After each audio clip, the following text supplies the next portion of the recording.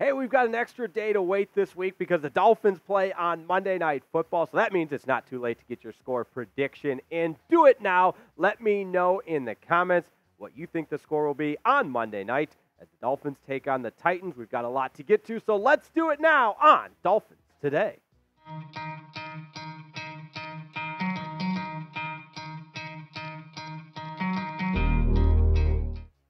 Welcome into another edition of Dolphins Today. It's always a pleasure to have you along, and we've got a new, brand new injury report to get to on this edition of Dolphins Today. I'm your host, Jake Riepma. The Aqua and Orange at 9 and 3 on the season, and looking at a Week 14 matchup against the Tennessee Titans. And lo and behold, they're almost two touchdown favorites once again this week.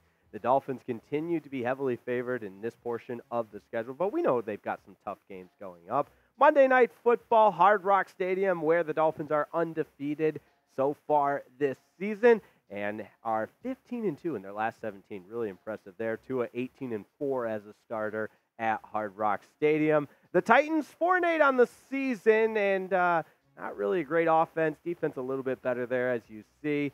And that Dolphins scoring offense, so close to reclaiming the top scoring offense in the National Football League, but right now that belongs to the Dallas Cowboys. But either way you slice it, the Dolphins heavy, heavy favorites. And I want to know who you got on Monday Night Football. Let me know down in the comments. It's real simple. Type D for Dolphins or T for Titans. I better not see any T's in there. It better be all D's because, yes, the Dolphins are heavily favored. But hey, this is Dolphins today. We love our Miami Dolphins.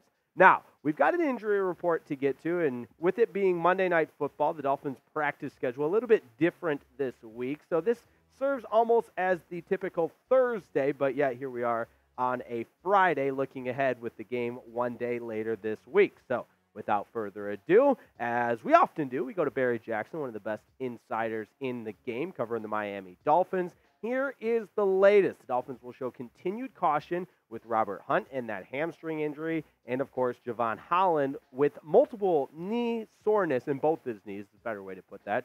And with Robert Hunt, McDaniel says they'll operate with caution day by day. And with Jevon Holland, you're talking about one of the better players at his position. So we won't mortgage the rest of the season to risk it. The Dolphins were without both these guys against the Commanders, or I should say with Robert Hunt. He re aggravated that injury against the Commanders. But look at the production from Robert Hunt and the entire offensive line, which we've talked about at length on this program.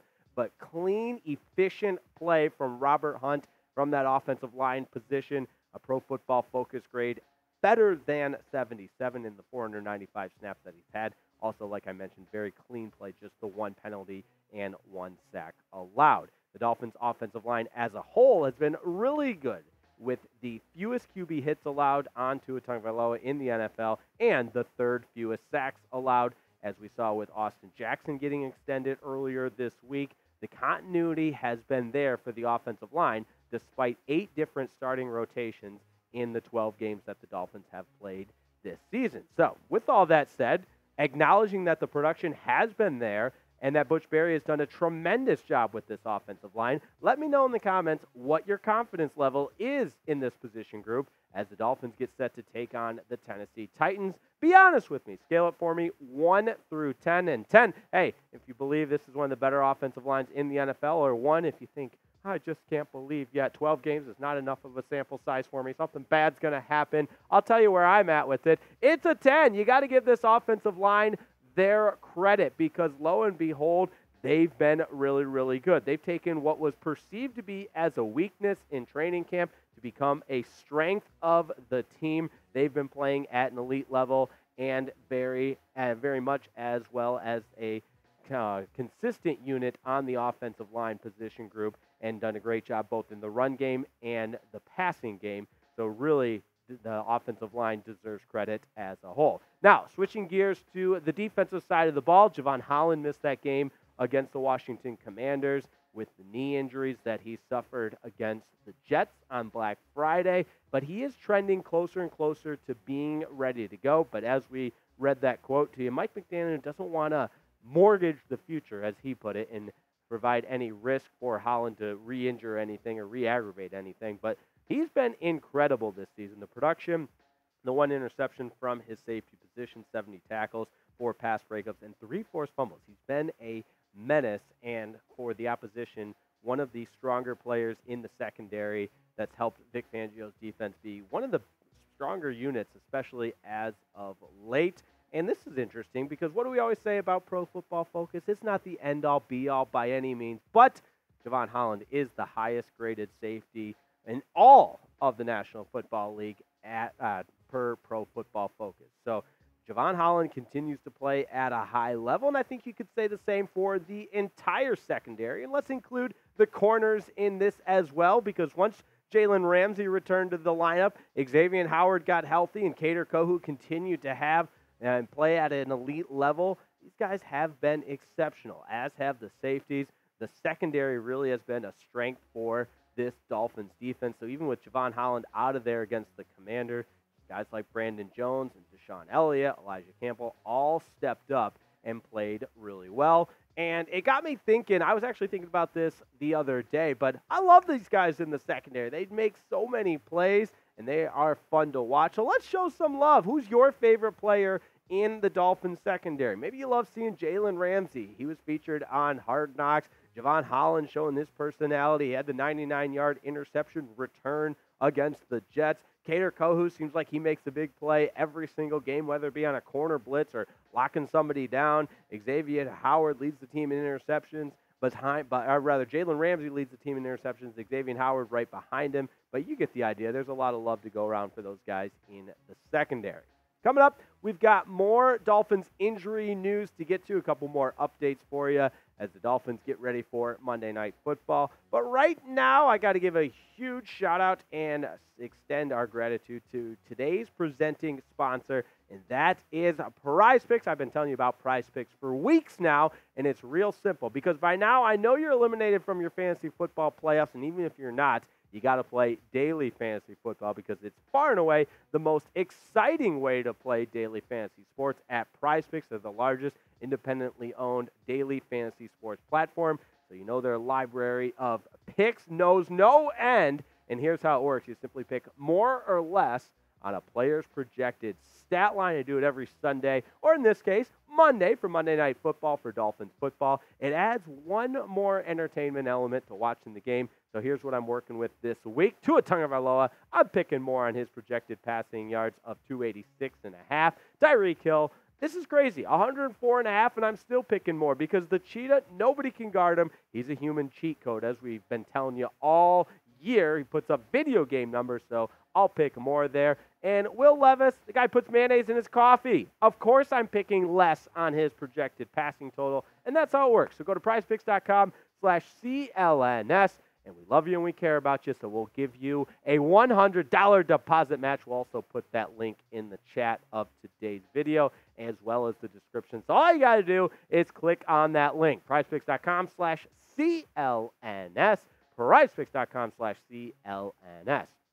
Let's get into a few more news and notes on the injury front, and beginning with Terron Armstead, because unfortunately, I don't want to say it's his fault, but – he the guy's in the in the news all the time for the injuries. It's been a little bit of a problem this season. It's kind of been a roller coaster.